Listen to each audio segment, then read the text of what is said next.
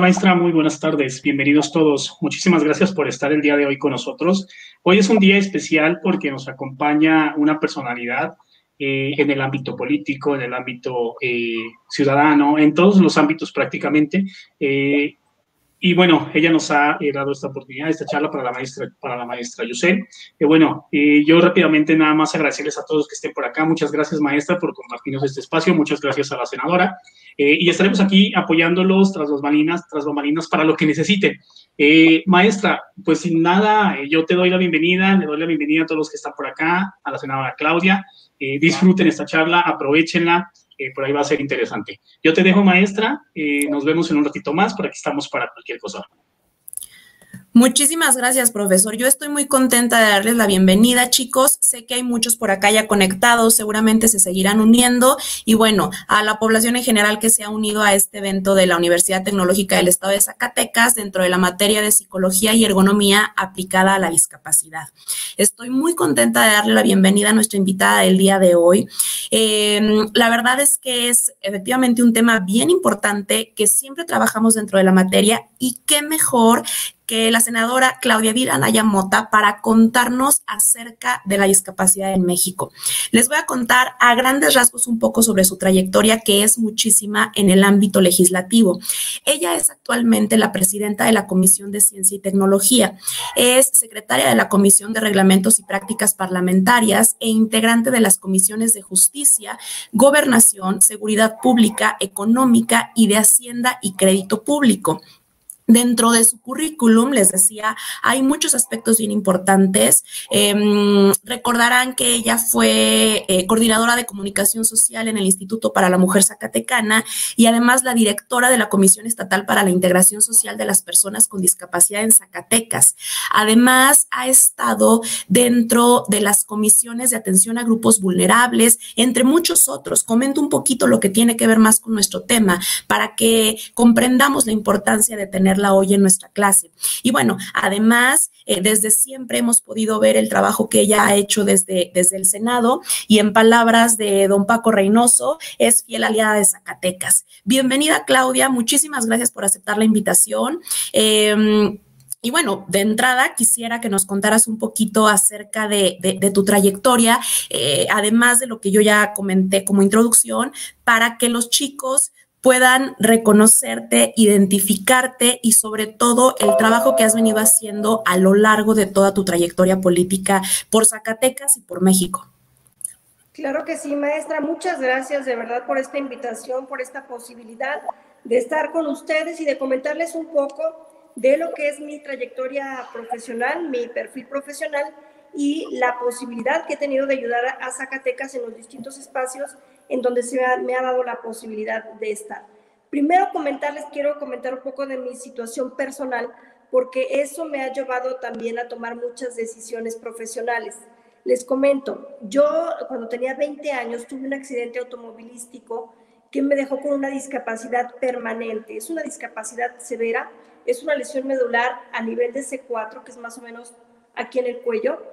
Eh, prácticamente, y ustedes lo deben de saber porque son estudiantes que trabajan con personas que tienen alguna discapacidad o que son eh, víctimas de algún traumatismo, prácticamente un nivel más, es decir, C3, y se tiene que utilizar tanque de oxígeno permanente, porque la movilidad es muy poca y a partir del C3 se compromete el sistema respiratorio y es importante andar con, con el respirador. Entonces, en realidad, si ustedes se fijan, eh, y ahorita les voy a contar cómo fui eh, yendo adelante con la discapacidad.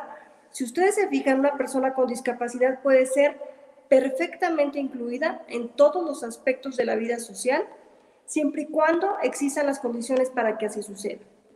Yo tuve este accidente automovilístico justo cuando estaba estudiando mi licenciatura eh, y a la mitad de la carrera. Fue en febrero del año 2000 y los doctores me aclararon y me especificaron el tipo y grado de discapacidad que yo tenía, porque es importante siempre que los pacientes tengan la claridad de su diagnóstico para que de esa manera puedan tomar las mejores decisiones. Las mejores decisiones no significa que si te están diciendo que tu situación de vida tiene que cambiar, no significa necesariamente que tú tengas que cambiar tus planes Se los comento porque yo tuve la alternativa de hacerlo. Cuando tuve mi accidente automovilístico en mi casa me dijeron, Claudia, tú tienes de qué preocuparte. Tu familia es solvente y te podemos ayudar y respaldar. Si tú quieres regresarte a casa y dedicarte a una vida en la rehabilitación, puedes hacerlo, nunca nada te va a faltar. Y yo decidí desde ese momento, todavía no salía ni siquiera del hospital, que iba a continuar con mis planes de vida, que independientemente de la situación que ahora me tocaba vivir, tenía que hacer un esfuerzo, no solamente personal, fue un esfuerzo familiar para continuar con esos planes de vida. Yo me incorporé nuevamente a mi licenciatura en agosto de ese año 2000, es decir, prácticamente a los seis meses de mi accidente, en cuanto inició el nuevo semestre, yo ya estaba ahí. Hubo esfuerzos que hacer, claro, los esfuerzos personales, porque no es fácil después de ser jugadora de fútbol en el equipo de la escuela, de estar en el equipo de eh, aeróbics, de estar en el equipo de tenis, de participar en todas las actividades culturales de la escuela. No es fácil restringirte únicamente a la actividad educativa porque lo demás no está hecho para ti, no está adaptado para ti, no existen las condiciones. La familia también tuvo que hacer un esfuerzo extraordinario. Mi papá se jubiló, mi mamá cerró su negocio y se dedicaron pues prácticamente a lo que es una nueva dinámica familiar. El entorno de una persona con discapacidad es el entorno primario, es el de la familia. Si la familia está dispuesta a llevarte a rehabilitación, si la familia está dispuesta a llevarte a la escuela, si la familia está dispuesta a darte los primeros impulsos para que tú puedas seguir adelante, las cosas se van facilitando para una persona con discapacidad. Cuando no existe la posibilidad económica o organizacional de que las familias de las personas con discapacidad nos impulsen, lo cierto es que por mucho ánimo y mucha actitud que tenga la persona con discapacidad, va a ser bien complejo que pueda salir y más en cuanto más restringida esté su, su movilidad o entre más severa sea su discapacidad, si el entorno familiar no colabora y si el entorno social no va colaborando, lo más probable es que esa persona con discapacidad se vaya quedando restringida únicamente a las actividades de la familia. En cuanto más se va dando apertura familiar y social, es más posible ese impulso de inclusión real, efectiva, en todas las actividades. Les comento, yo estaba estudiando mi licenciatura y el último semestre antes de graduarme fue cuando comencé a trabajar como directora de comunicación social en el Instituto para la Mujer Zacatecana. Es decir, mi último semestre fue trabajando y estudiando. Y no era cualquier trabajo, debo de decirles.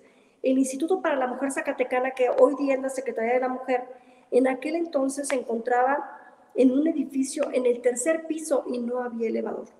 Yo tenía que subir y bajar. Todos los días me llevaban cargando, todos los días, y nunca faltaba trabajar. No era como ahora que, los trabajos son en línea o en home office, no. No, y luego menos la, la jefa de comunicación social, porque la de comunicación social de una institución gubernamental es la que empieza a trabajar cuando todos acaban, pero cuando todos acaban tienes que estar pendiente de qué se trató la actividad, dónde fue, cuántas personas fueron, de cuál es el enfoque que le vas a dar a tu nota, Ahí me tocaba hacer todas esas redacciones, mandarla a los medios y empezar a llamar a todos los periódicos. Ya te llegó el comunicado, ¿cómo estás? Reunirme con los titulares de todos los periódicos para ver cuál era la expectativa que tenían de nuestra dependencia, hablarlo con mi directora. En fin, mi trabajo era la comunicación de la política de género en el gobierno del estado de Zacatecas. Allí estuve trabajando de 2002 a 2003 a los 23 años me invitan a ser directora de la Comisión Estatal para la Integración Social de las Personas con Discapacidad. Ya había terminado yo mi licenciatura. Me invitan a esta dependencia que hoy día se llama Instituto de Inclusión para las Personas con Discapacidad. En aquel entonces se llamaba Comisión. ¿Qué fue lo que hice cuando llegué ahí? Me fui a los 58 municipios, a todos, a hablar con los presidentes municipales, a hablar precisamente de que desde lo local, desde el municipio, deberían de existir políticas públicas diseñadas para las personas con discapacidad. No solamente en la parte de accesibilidad, no, sino una política pública transversal que pasara desde el Instituto de la Mujer para Mejores con Discapacidad, de la Juventud para Jóvenes con Discapacidad, de campo para gente que, con discapacidad que se dedicara a actividades agropecuarias, desarrollo económico, es decir, una eh, política transversal. Yo misma convencida de que los servidores públicos debemos estar siempre capacitados porque el servidor público debe de ser la persona mejor profesionalizada de este país. Ser servidor público en este país no debe de tomarse como una actividad a la ligera. O, gente que piense que trabajar en gobierno es nada más irte a meter ahí al Facebook todo el día. Olvídense, eso es lo que destroza las instituciones. Fue entonces cuando yo fui directora del Instituto de Discapacidad de la Comisión en aquel entonces, me metí a estudiar mi maestría en la Universidad Autónoma de Zacatecas. Tengo una maestría en Población, Desarrollo y Política Pública, precisamente porque entendí la gran responsabilidad que tenía sobre mí de poder diseñar políticas públicas para personas con discapacidad. Lo primero que se tiene que conocer es el diagnóstico. Para un buen diseño de política pública, lo primero que tienes que conocer es el diagnóstico. ¿Cuál es la característica de las personas con discapacidad en el estado de Zacatecas? ¿Cuántos somos? ¿Qué discapacidades tenemos? ¿De qué edades somos? ¿Hasta dónde estudiamos? ¿Cuáles son nuestras expectativas? ¿Son laborales? ¿Son recreativas? ¿Son deportivas? ¿Son empresariales? y a partir de ahí diseñar la política pública. ¿En qué nos vamos a gastar el poco o mucho dinero gubernamental para impulsar la inclusión de las personas con discapacidad? Entonces, es el despliegue que se tiene que hacer y decirle al municipio, a ti te toca la infraestructura, te toca que todas las banquetas, que todas las calles tengan accesibilidad para personas con discapacidad. Te toca irte a hablar con los secretarios de educación y decirte, te toca educación inclusiva, te toca capacitar a los maestros, que exista currícula adaptada que las personas con discapacidad en su mayoría y las que así puedan hacerlo, ingresen a escuelas regulares y no mandes a todo mundo a escuelas especiales porque el tener una discapacidad no significa necesariamente que tengan necesidades educativas especiales. Hay personas incluso que no tienen una discapacidad y tienen necesidades educativas especiales, como son los jóvenes sobresalientes. Jóvenes con aptitudes sobresalientes necesitan una currícula adaptada porque ellos tienen una mayor facilidad en el proceso de enseñanza-aprendizaje. Así, con cada uno de los secretarios, ir diseñando una política para que las personas con discapacidad real y efectivamente puedan tener acceso a sus derechos. Fue entonces cuando yo conocí, debo decirle, porque ahí es donde empieza un poco mi rotación a la vida política, conocí a don Gilberto Rincón Gallardo, que es un fue un hombre eh, muy importante para las personas con discapacidad en este país. Él fue el que impulsó en, en la ONU en el 2006 la Convención Internacional sobre los Derechos de las Personas con Discapacidad. Es el instrumento internacional más importante que existe en materia jurídica para tutelar los derechos de las personas con discapacidad en todos los países del mundo. Don Gilberto, que fue, por cierto, candidato a la presidencia de la República en el año 2000, me dijo que existían muy pocos perfiles eh, como yo en el país personas con discapacidad que habían logrado ya tener una licenciatura, una maestría y que fueran directores de dependencia en sus estados.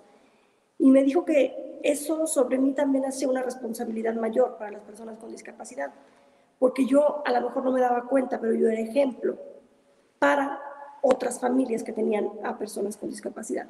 Entonces me dijo que a partir de, de, entonces, dijo, a partir de ahora que estamos platicando, tu comportamiento y tu estilo de vida debe de ser siempre pensando en eso, que tú eres un referente de otras personas y que lo que te ven haciendo a ti, para bien o para mal, es un ejemplo para muchos otros.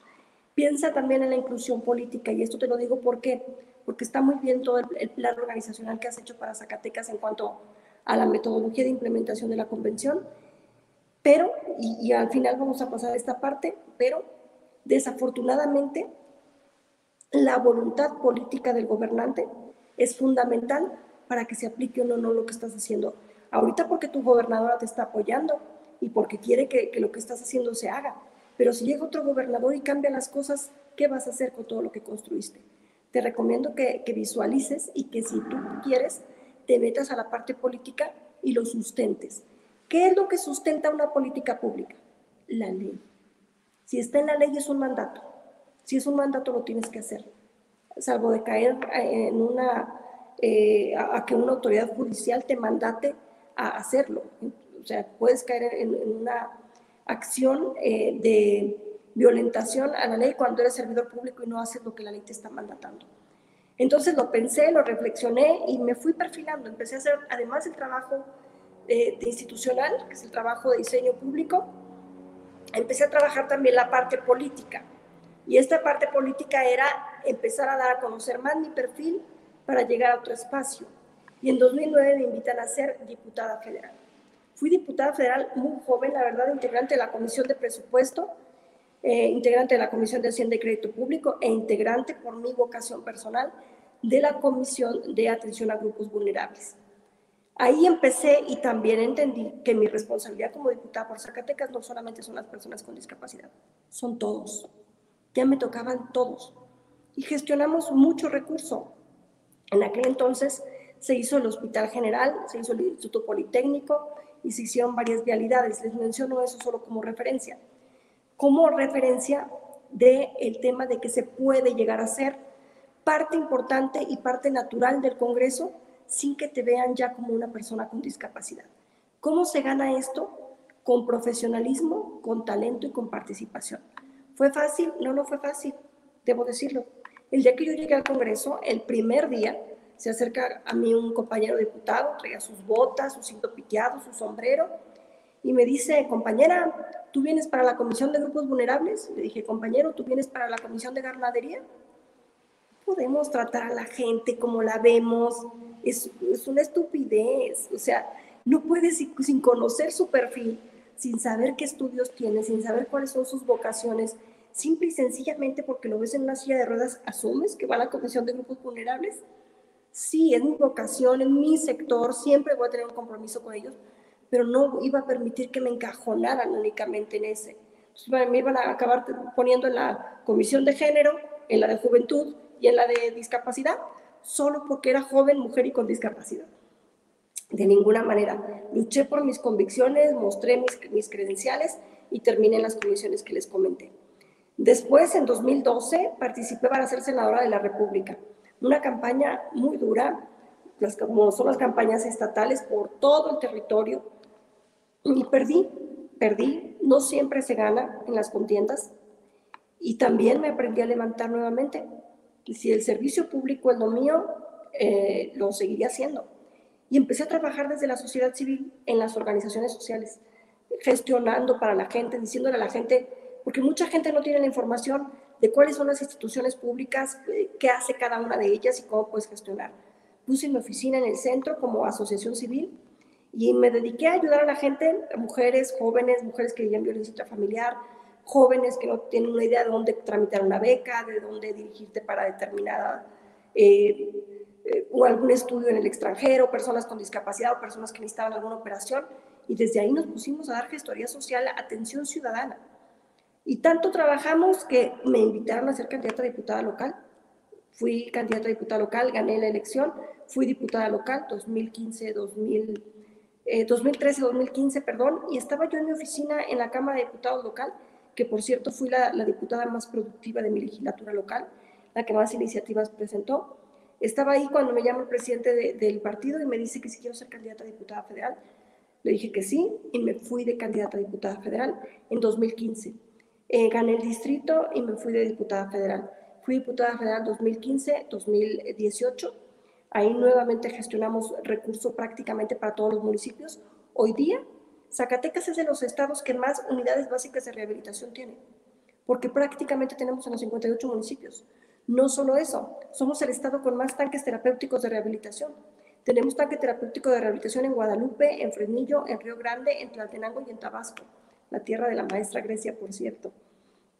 Este, tanques de rehabilitación que no hay, hay estados que nada tienen uno, dos máximo, y Zacatecas es de los estados que más tiene gracias a esa tarea de gestoría siempre comprometida con los sectores sociales. Entonces, hoy prácticamente nos faltarán, en nuestro caso, cinco municipios que son los más lejanos y pequeños, que todavía no tienen un espacio diseñado para hacer la unidad básica de rehabilitación, pero ya en todos los demás son lugares dignos y específicamente diseñados para ellos. Eh, no solo eso, también fue la gestoría de muchas otras acciones, eh, porque el diputado federal tiene esa posibilidad de decir a dónde va el presupuesto de la nación, en qué lo enfocas, en qué programas, en qué acciones, en qué, a dónde va. Todo eso es, es importante, que hacer la legislación. Eh, no, no, les comenté, pero cuando fui diputada federal la primera vez, fue mi propuesta de ley, la, Ley General de Inclusión para Personas con Discapacidad, que vamos a ver ahorita en la, en la presentación. Yo la propuse y es una ley hoy día vigente y es una ley pues que bueno, que desafortunadamente, y eso les comentaba yo de la voluntad política, hoy día en la actual administración no se le está dando seguimiento y ahorita vamos a pasar ese tema. Mm, y después, en 2018, termino mi ciclo como diputada federal, llego al Senado de la República, fui candidata a senadora en 2018 eh, y quedé de, senadora de primera minoría. Y ahorita estoy en el Senado de la República, en las comisiones que comentaba eh, nuestra maestra. Y en, actualmente estoy estudiando mi doctorado, convencida de que siempre tenemos que estarnos profesionalizando, de que siempre tenemos que dar lo mejor de nosotros mismos para poder servir a la gente, desde la administración o desde la legislación. Entonces vamos a pasar al marco normativo que tienen ustedes como futuros rehabilitaciones, rehabilitadores. ¿Cuál es la norma que rige al Estado mexicano en el tema de rehabilitación? Hay una obligación eh, legal del Estado mexicano para con las personas con discapacidad y para brindar los servicios de rehabilitación. Entonces es lo que vamos a revisar ahorita. El marco jurídico de la rehabilitación lo vamos a ver muy rápidamente para que podamos tener una ronda de preguntas y respuestas. Entonces nos vamos de, volada, por favor, la gente que está en controles.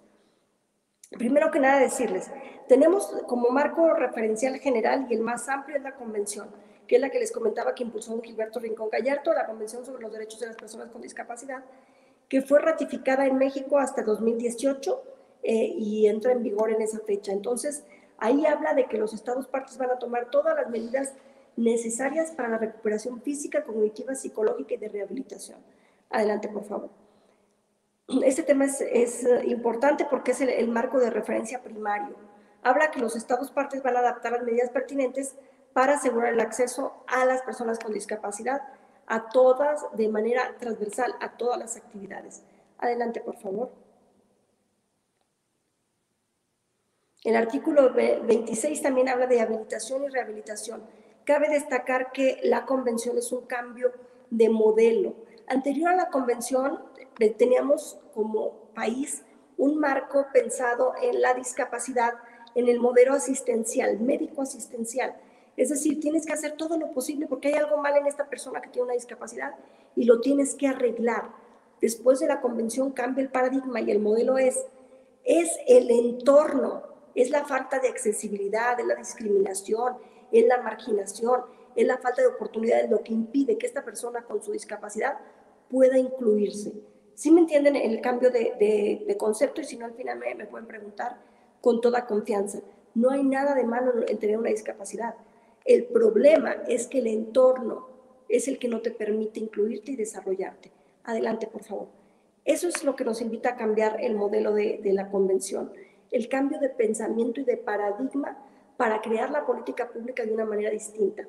Esta es la ley que yo creé, la Ley General de las Personas con Discapacidad, que en su artículo 2 y en el artículo 7 nos habla específicamente de la rehabilitación. ¿Por qué le pongo ahí un proceso de duración limitada y con un objetivo definido de orden médico? Porque uno hace su rehabilitación un determinado tiempo. Uno va al centro de rehabilitación a que te digan cómo vas a continuar el resto de tu vida con tu discapacidad y luego te regresas, o el objetivo es que luego te regreses a tu casa o a tu actividad y, desde ahí hagas lo propio todos los días. Pero no, yo no voy todos los días al CRE. Yo fui al CRE tres semanas, me enseñaron lo que tenía que hacer y de ahí para adelante, los últimos 20 años, yo lo hago todos los días en mi casa, antes de salir o al llegar en la noche. Pero el objetivo es que la gente no se quede toda su vida en el centro de rehabilitación, sino que aprenda lo necesario y salga. Adelante, por favor. Y salga, salga a involucrarse. Entonces, esos son los objetivos y, por eso están ahí las eh, obligaciones específicas. La elaboración de las normas, la creación de programas, eh, todo eso. Adelante, por favor. Yo les voy a dejar de la presentación con su maestra para que si ustedes quieren revisar específicamente cada artículo después, lo hagan. Eh, esta ley está construida, pues, bueno, con base a la convención, con un enfoque de derechos humanos y, contaba con una instancia intrainstitucional que antes dependía de, la Secretaría de Salud y que estamos cambiando a la Secretaría de Desarrollo Social o a la del Bienestar, que se llama, adelante por favor, por una cuestión propia del, modelo. Esta ley también nos, sigue hablando del tema de la, de la discapacidad y la rehabilitación. Adelante, por favor. Adelante, por favor. Como les comentaba, la, ley está eh, armonizada con la convención, pero aquí está la parte que yo les decía de, lo político. Esta ley crea el CONADIS, el Consejo Nacional para el Desarrollo y la Inclusión de las Personas con Discapacidad. Decirles que desde que entró este nuevo gobierno, desde 2018, es decir, desde hace dos años, no hay titular en el CONADIS. Es decir, no tenemos a una persona encargada de hacer la política pública nacional de personas con discapacidad. La ley mandata que se debe de hacer un sistema nacional para el desarrollo y la inclusión de personas con discapacidad. No se, no, se ha podido hacer porque el titular del consejo, que es el que lo tiene que organizar, no existe. No, no hay nadie. Entonces, la ley también habla de tener un programa nacional para el desarrollo y la inclusión de personas con discapacidad, que es, digámoslo así, el marco de política pública nacional y no existe porque no tenemos a un titular de CONADIS. Por eso está la ley, está la convención, está la ley, y bueno, sin voluntad política no hay nada, porque no tenemos hoy día eh, en, en la presidencia de la República esta visión de que a través de las instituciones es como se deben de fortalecer las políticas públicas para personas con discapacidad.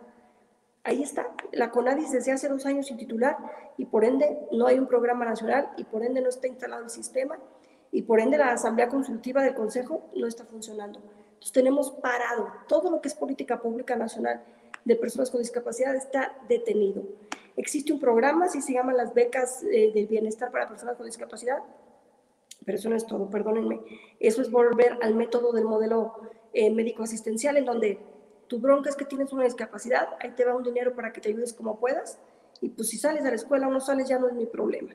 Ahí yo ya estoy cumpliendo con darte una beca. Es una beca que se le da a personas de 0 a 29 años. Yo que estudio política pública no le encuentro la lógica al diseño a esto porque ¿qué tiene que ver de 0 a 29 años? O sea, ¿por qué? Y de 29 años en adelante, ¿qué? ¿Ya no tienes discapacidad o, qué? O sea, ni siquiera es por eso, porque además una persona de 0 a 29 años que no la necesita, que puede tener suficientes estudios, recursos económicos, tiene derecho a ella, pero una persona de 30 años que vive en una comunidad marginada, que vive en extrema pobreza, ya no tiene derecho porque tiene 30 años. No, no está bien hecha desde mi punto de vista, como les digo, como maestra en población, desarrollo y política pública y hoy como doctorante en, en política pública, no, no, está bien hecha esa política. Entonces, y esto tiene que ver precisamente porque no existe un experto en el tema en gobierno de la República que le ayude al presidente a diseñar. El gobierno no puede trabajar con ocurrencia en cuanto al diseño de políticas públicas para ningún sector porque eso significa tirar el dinero a la basura. Si no tienes especialistas en los temas, no haces un buen diseño, no tienes un buen diagnóstico, el dinero que se utiliza se tira. Es la verdad. Adelante, por favor. En Zacatecas eh, me tocó, cuando fui directora de la comisión, eh, impulsar la, ley que, esta ley ha sido muy actualizada. La verdad es que aquí en Zacatecas tenemos buen marco, tenemos el instituto, en el instituto hay gente profesionalizada, la verdad que mis respetos, entonces en Zacatecas tenemos un buen modelo. Solo 11 estados del país tienen una dependencia específica eh, como instituto, comisión o dirección estatal que tiene que ver con eh, la, propia ley estatal de, de, personas con discapacidad y que tiene que ver con la transversalidad de diseño de políticas públicas para personas con discapacidad. Zacatecas es uno de estos 11 estados que estamos a la vanguardia en cuanto a la actualización legislativa, en cuanto a la profesionalización del equipo que está en el Instituto de Inclusión y en cuanto a la transversalización, es decir, nosotros sabemos trabajar con los ayuntamientos y entre las dependencias para que en cualquier lugar donde llegue una persona con discapacidad se le pueda dar eh, una orientación de, cómo salir adelante, ¿no? Entonces, eh, me parece que, que en el Estado vamos avanzando bien. Yo, yo le daría una buena calificación a lo que ha hecho el Estado en los últimos años. Adelante, por favor.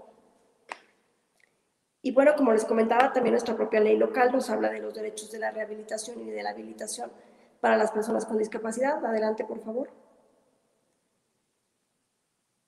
Que le corresponde, los, la rehabilitación le corresponde a la Secretaría de Salud y recordemos que aquí está sectorizada al, al DIF estatal y que es eh, a través de los médicos que son parte del sector salud, eh, a, a, partir de ahí se despliegan por rutas para atender eh, a las unidades básicas de rehabilitación que hay una en cada municipio. Adelante, por favor.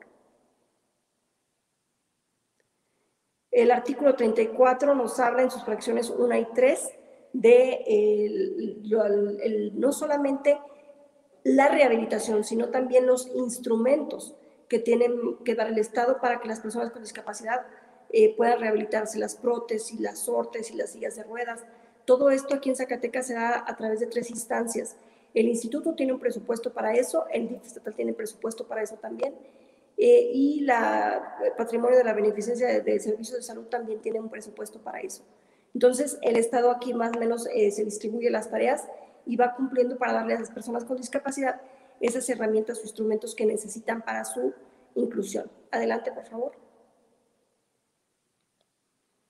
En el artículo 35, también el 36, también nos habla de los procesos de rehabilitación, como les comentaba, desde lo municipal hasta estatal y siempre con el enfoque de incorporar a las personas a alguna actividad, ya sea recreativa, cultural, deportiva, educativa, Tú no puedes obligar a una persona a que vaya a la escuela porque con o sin discapacidad, porque cada quien tiene un talento para algo. Entonces, igual y puedes impulsarlo al deporte, puedes impulsarlo a la cultura. Lo importante es que cada ser humano encuentre cuál es su talento y lo desarrolle. Igual con las personas con discapacidad, no las puedes obligar a ir a la escuela si es un espacio donde no sienten que desarrollan sus habilidades y conocimientos. Pero lo importante es que tampoco les restrinja su derecho si la persona con discapacidad quiere ir a la escuela, ¿por qué la quieres mandar a una escuela de educación especial? ¿O por qué le niegas el acceso a la educación? ¿O por qué le dices que se dedique a otra cosa? Cada persona debe dedicarse a lo que más le convenga y a lo que más crea que se desarrolle. Y la tarea del Estado es garantizar que eso ocurra y que a nadie limites con o sin discapacidad. Y así es como tenemos que aprender a ver a las personas con discapacidad, como parte de nuestro entorno y como parte de nuestra sociedad y no crear un mundo específico para ellos, sino hacerlos parte de nuestro mundo. Adelante, por favor. El artículo 38-39 también nos habla de la responsabilidad de las autoridades y los niveles de responsabilidades. Hay niveles y órdenes de responsabilidades según eh, la autoridad. Adelante, por favor. Lo mismo que tiene que ver con, con la parte de, de, llevar al máximo grado de vida independiente a las personas con discapacidad, pero como les repito, yo les voy a dejar la presentación con la maestra para que estudien cada artículo si así lo consideran pertinente. Adelante, por favor. Y pues bueno, básicamente las facultades del centro de rehabilitación y de las unidades básicas de rehabilitación. ¿Qué hacen? ¿Por qué lo hacen? ¿Dónde lo hacen? ¿Qué responsabilidad tienen? Adelante, por favor. El artículo 48 que nos habla también de la canalización a, sea, después de que una instancia ya terminó lo que tenía que hacer contigo, que te pueda canalizar a las demás, que siempre se encuentren en constante coordinación, que sea también un derecho de personas que viven en zonas rurales, en fin, todo, todo esto y las tareas del instituto como del DIF, como de la Secretaría de Salud. Aquí están las tres instancias que les mencioné. Adelante, por favor. Y pues bueno, básicamente este es eh, el marco jurídico de, rehabilitación, y ya nos fuimos desde la convención, la ley general la ley estatal, todo el marco yo se los dejo, y pues ahora sí que si quieren hacer alguna pregunta, eh, comentarles, eh, desafortunadamente esta administración ya terminó con el FODEPAR, el Fondo para Deportistas de Alto Rendimiento, que le daba una beca a las personas con discapacidad o a los deportistas sin discapacidad que ganaban una medalla en las Olimpiadas. Eh, muy importante que, existía para que de esa manera garantizaras que podían trabajar eh, toda su vida en el deporte y al final tuvieran una beca, pues eso ya se destruyó. Y el día de ayer, eh, que los diputados federales aprobaron el último presupuesto de de la federación, acaban de destruir un fondo que a mí me tocó crear hace 10 años como diputada federal, que era el Fondo de Accesibilidad para el Transporte de Personas con Discapacidad, un fondo que era para o comprar unidades adaptadas Aquí se le dio una unidad adaptada a cada uno de los municipios para que pudieran movilizar a sus personas con discapacidad a rehabilitación, a deporte, a, donde tuvieran que ir. Varias unidades aquí seguramente que las han visto. Se ayudaron a remodelar eh, de las rutas más importantes entre Zacatecas, Guadalupe y Fresnillo. Se les ayudó para que tuvieran eh, la rampa accesible. Y también se hicieron paradores o adecuaciones específicas de banquetas, rampas en muchos lugares. Ayer ese fondo lo, extinguieron los diputados federales y como les comento todavía no tenemos un titular del, del CONADIS, entonces poco a poco se va desmantelando la política de discapacidad, es, muy duro para mí verlo porque yo construí muchas de esas cosas, pero sin voluntad política pues no, incluso la legislación en letra muerta. Por eso es importante que todos seamos muy conscientes de lo que está pasando a nuestro alrededor y como ciudadanos informados exijamos que se cumpla la ley. Pues sería mi participación maestra y estoy lista para las preguntas. Hay muchos comentarios de los chicos, muchas felicitaciones. Creo que estamos entendiendo eh, por qué siempre se ha dicho de usted, senadora, que está comprometida con el bien social, con las familias vulnerables, con las personas con discapacidad. Muchos están sorprendidos al conocer eh, la labor que usted ha hecho a lo largo de su carrera. Hay felicitaciones de Carla, Cari, Judith, Sandra, Isamar, Heidegger, Mariana. No quiero que nadie se me pase sin poderlos eh, mencionar. Y bueno, voy con algunas preguntas que me parecen muy pertinentes. Em, primero, hay una que, a mí me llama la atención, por ahí estuve viendo una entrevista que le hicieron hace poco, eh, donde decía que usted misma ha vivido dentro de su trabajo la parte de la falta de accesibilidad, incluso en el Senado, ahora hace unos pocos meses. Y justamente pregunta Fernanda si ha sentido algún tipo de discriminación.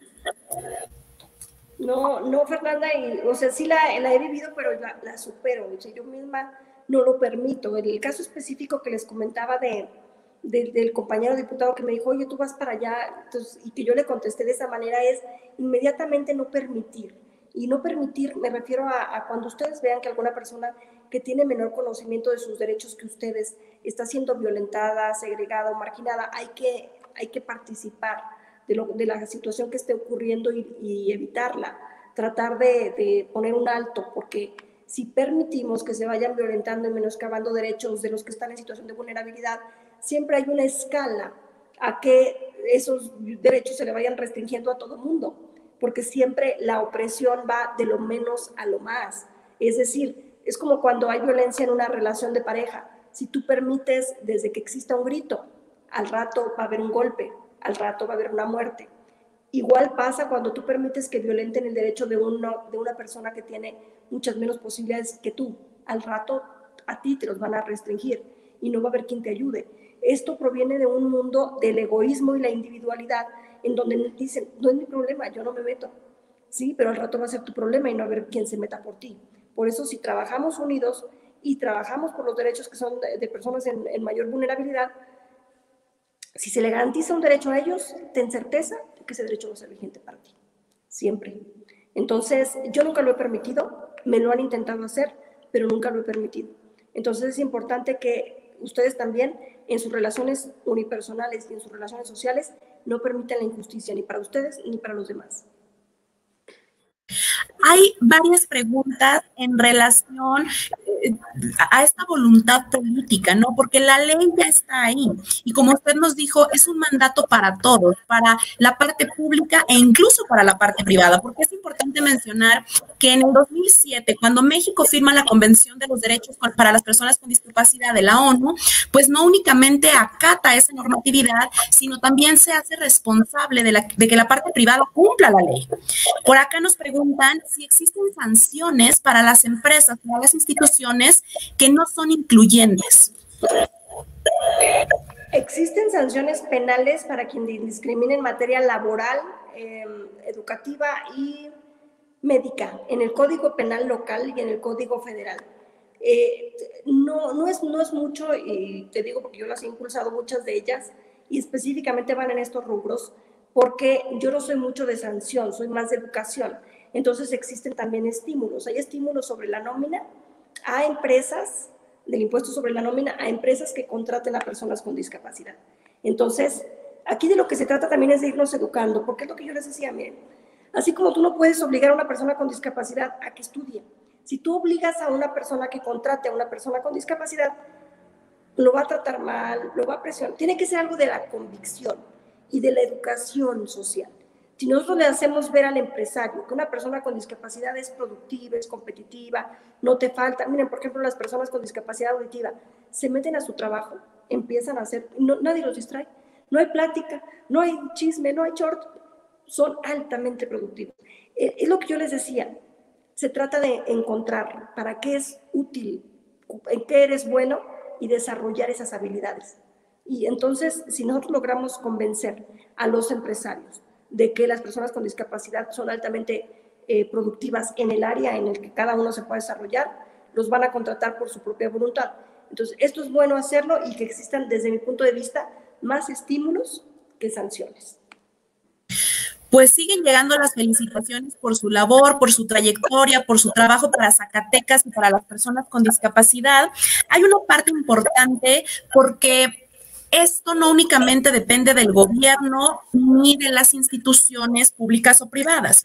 Creo que la sociedad en general tenemos esa responsabilidad de inclusión a las personas con discapacidad.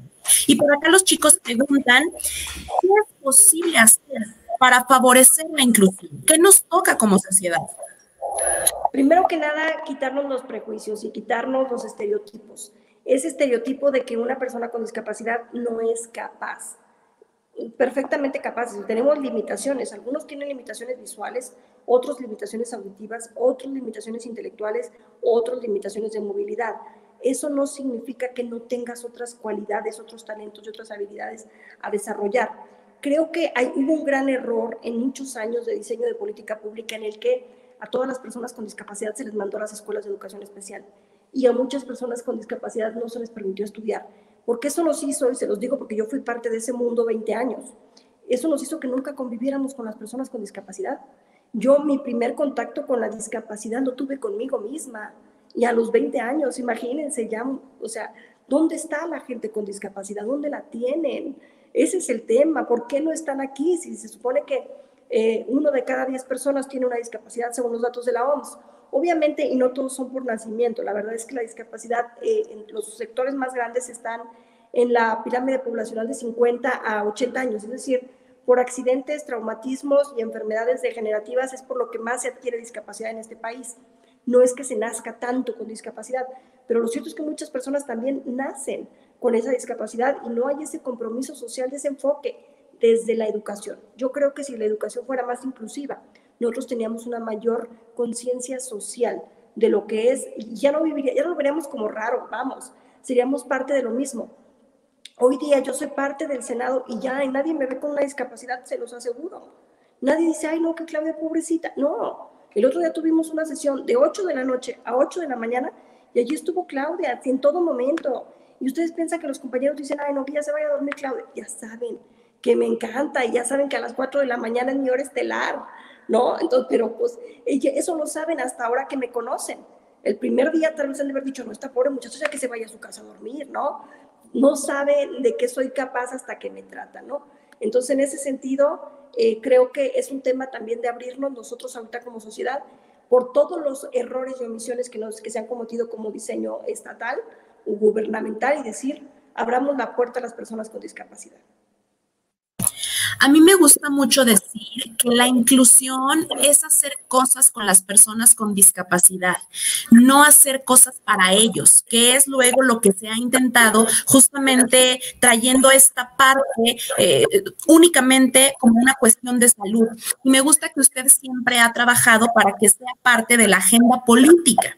¿No? Y, es justamente esta iniciativa de ley en donde se trata de que la persona con discapacidad esté en todas partes, porque obviamente puede hacerlo. Esta parte me parece que es bien importante. Y bueno, ya dijimos que no hay un representante de la CONADI, ya dijimos que el presupuesto, pues ahí está, o está parado o está disminuyéndose, ¿no? ¿Qué falta por hacerse para que esto siga avanzando. Además de, la parte política, de la parte eh, que les toca a ustedes, pues ya ahí accionar, ¿qué, falta para que los derechos se respeten, para que esto siga avanzando y que realmente las personas con discapacidad puedan ver, como lo dijimos hace un momento, esa inclusión, ese apoyo real, no una beca, porque ya dijimos y estoy completamente de acuerdo con usted, eh, no es lo que hace la diferencia son varias vías. Miren, por ejemplo, siempre que tengo conferencias con los estudiantes de Derecho, les digo, ayúdenos a que la ley funcione. ¿Cómo? Haciendo las demandas correspondientes. Los estudiantes de Derecho siempre nos ayudan mucho en este sentido. Si están viendo que hay un acto de discriminación, vayan y denúncienlo y hagan eh, efectivo el derecho. Si están viendo que se está haciendo un acto de autoridad que está violentando un derecho de una persona, vayan y metan un amparo. Eh, hay que utilizar las instituciones. El Poder Judicial, el Poder Legislativo y el Poder Ejecutivo tienen las responsabilidades prioritarias, porque ellos tres conforman lo que es el Estado. ellos tres tienen responsabilidades bien específicas. El, el, legislativo tiene que hacer la norma, ¿qué le toca hacer a cada uno? El ejecutivo tiene que implementarla. Y si el ejecutivo no la implementa, para eso está el Poder Judicial, para que demandemos y para que se pida que, que se cumpla con la legislación vigente. Todo esto es importante, pero nada más importante que la acción social. La acción social determina, es fundamental. Miren lo que pasó ahora en Estados Unidos. Hace cuatro años la gente puso a Donald Trump. Hoy lo quitan. ¿Por qué? Porque la gente es finalmente quien decide quién es tu poder legislativo, quién es tu poder ejecutivo, quién hace las leyes y qué tipo de leyes hace, quién las ejecuta y si las ejecuta bien. Y si no las está ejecutando bien, cambio. Es lo mejor que puede hacer una sociedad. Ser activa, ser exigente, ser propositiva, porque si lo hacemos juntos, es más fácil que suceda. Esa parte es bien importante y digo, ya conociendo la trayectoria, podemos ver también el trabajo que usted ha hecho y me uno a la petición de muchos zacatecanos. Espero que siga haciendo porque, porque yo también veo en su, en, su próximo trabajo una gubernatura. Sé que muchos se lo dicen y que no le gusta mucho hablar de eso, pero no quiero perder la oportunidad. Hay una parte bien importante, nos dice Carla, ¿cree que vengan más centros para Zacatecas? Porque, híjole, somos ahora no el primer estado en discapacidad en el país, me parece que somos el segundo, pero ¿cómo nos damos abasto? ¿No? Bueno, los fisioterapeutas no se dan abasto. ¿Cree que venga más eh, eh, eh, ese tipo de centros para Zacatecas, para país? No, y les acabo de decir porque, miren, el fondo este que les comenté del transporte era un fondo, era un fondo de accesibilidad en sí. Nació como orientado al, al transporte, pero terminó haciéndose para todo. Con ese se hicieron los centros de rehabilitación, las unidades básicas de rehabilitación y los tanques terapéuticos de rehabilitación. Ese fondo lo destruyeron ayer los diputados federales, ayer. Entonces el año que entra no va a haber un solo centro de rehabilitación más.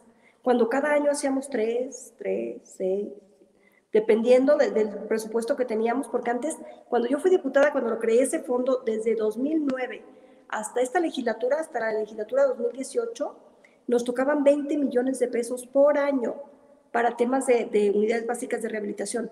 En cuanto a este gobierno, nos tocaron 5 millones. 5 millones en 2018 y 5 millones en 2019.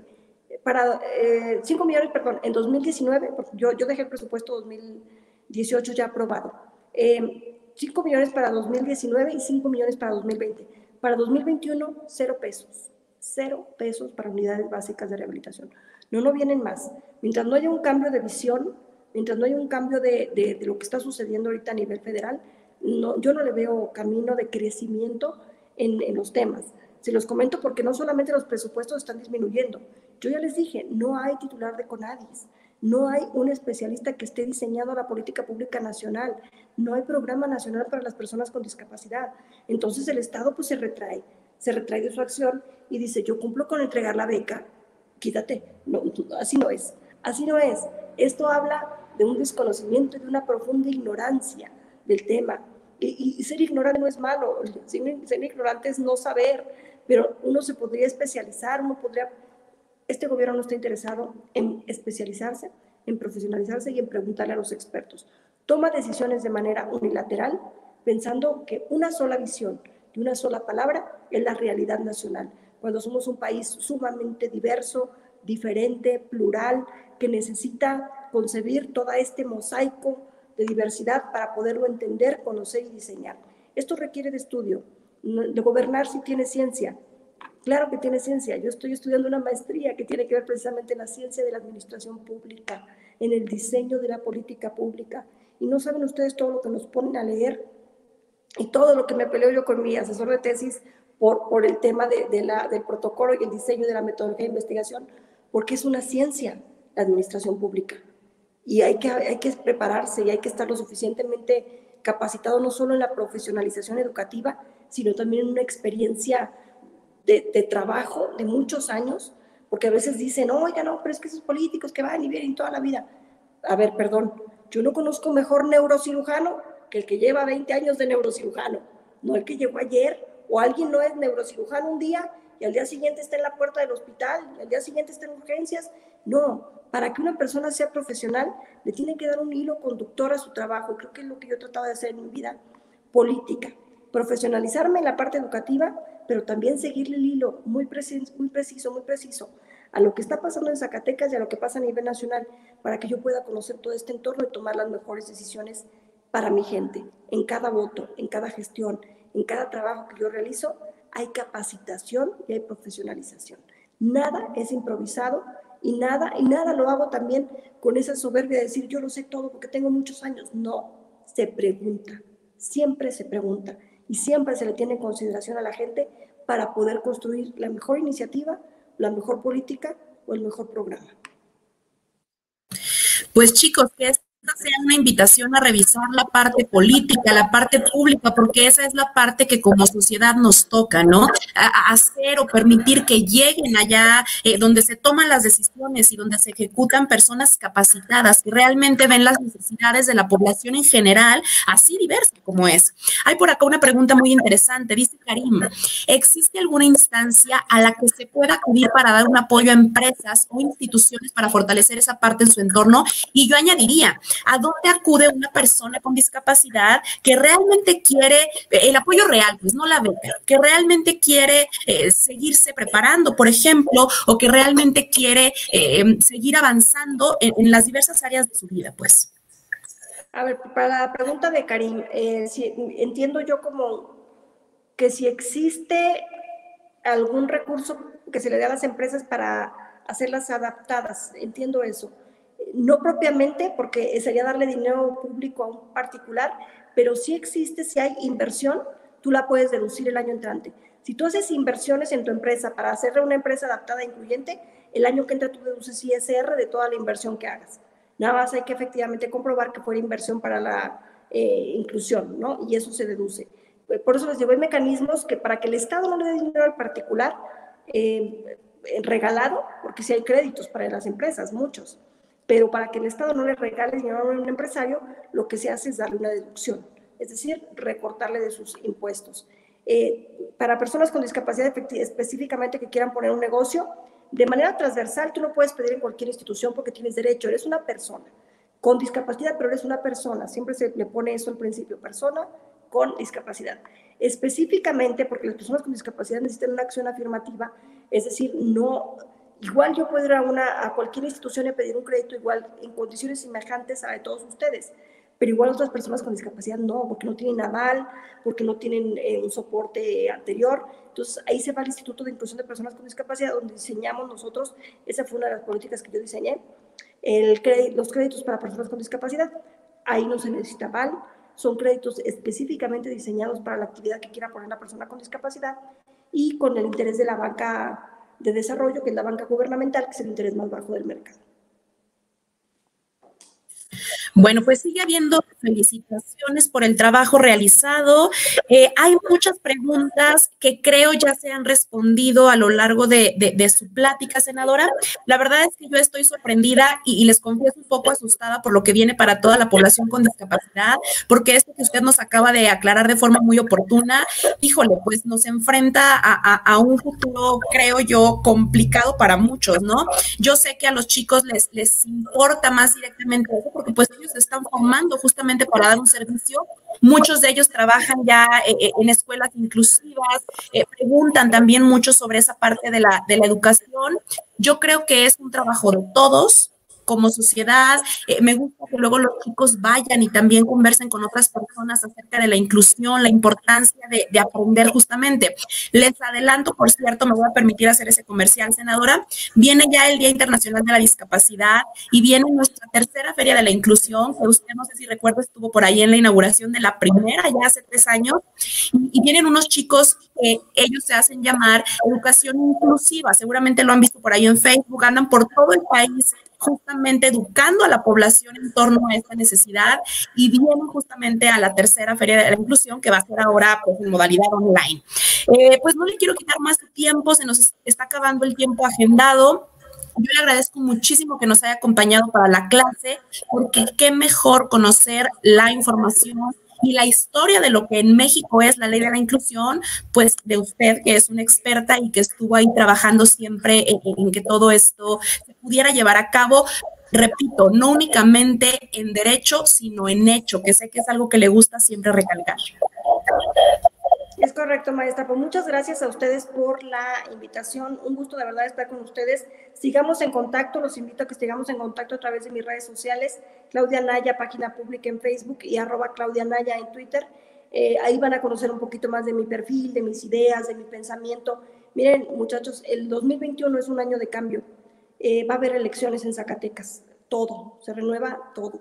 Diputados locales, diputados federales, ayuntamientos, gobernatura tomemos las decisiones que tenemos que tomar con conciencia y con conocimiento. Las personas, las personas somos diferentes todas, todas. Es importante que siempre conozcan el perfil. ¿Quién es su mejor perfil para presidente municipal? ¿Quién es su mejor perfil para diputado local? ¿Quién, o sea, ¿quién les garantiza que lo van a encontrar después de la elección? Que va a regresar, que va a trabajar, que va a estar ahí. Si no tomamos esas decisiones, alguien más las va a tomar por nosotros y después nos vamos a quejar de lo que está sucediendo. Yo ya no quiero que se siga destruyendo el país. He visto que se han caído muchas cosas que en muchos años me costó trabajo construir. Este ha sido un año difícil para mí no solo por la pandemia, sino porque me encuentro una decepción muy grande de lo que es la política y de lo que es el servicio público. Y esta decepción no, no tiene que ver con que yo ya no ame el servicio público, tiene que ver con que no he podido detener la destrucción que se está haciendo de cosas que construí durante muchos años. Créanme que para cualquiera que ha construido una casa, ver que se la lleve el huracán es doloroso. Ya no quiero que se lleve el huracán a mi país ni a mi estado. Zacatecas viene con una reducción presupuestal del 10% para el año que entra. Son 130 mil millones de pesos que se va a, a, reducir para todos los estados y para todos los municipios. El dinero se va a Dos Bocas, a Santa Lucía y a Tren Maya. Y duele cuando sales a la calle y ves a la gente que no tiene los recursos que se necesitan aquí, aquí, en tiempos de crisis. Por eso la decisión es suya. Gracias, maestra, por estar con ustedes. Yo sigo en contacto por si tienen más preguntas y demás a través de mis redes sociales. Y pues efectivamente, ahorita ya me despido porque a la una comienzo con, otra reunión que tiene que ver precisamente con, la regulación del cannabis para, para, usos medicinales, que es un tema que también seguramente a ustedes les interesa. Y pues a eso, eso me voy ahorita. Es muy importante, quiero aclarar que sus iniciativas, el trabajo que hace desde el Senado no es únicamente en torno a la discapacidad, ya lo dijimos al inicio, hay muchos temas que está revisando, como esta parte de, del cannabis, sé que también apoya el aborto legal, gratuito y seguro para todas las mujeres mexicanas, hay mucho trabajo detrás y pues ya nos dejó una tarea bien importante, informarnos, educarnos en torno a la política en México y tomar acciones justamente educadas. Le agradezco muchísimo. Chicos, gracias por acompañarnos. Se va a quedar grabado el video, se va a ir al podcast. Y por supuesto les dejaré la, la, presentación que ya nos hizo favor de compartir la senadora. Muchas gracias y pues nos vemos la próxima. Seguimos en contacto, senadora. Hasta pronto. Muchas gracias. Seguimos en contacto a través de las redes. Hasta luego. Adiós.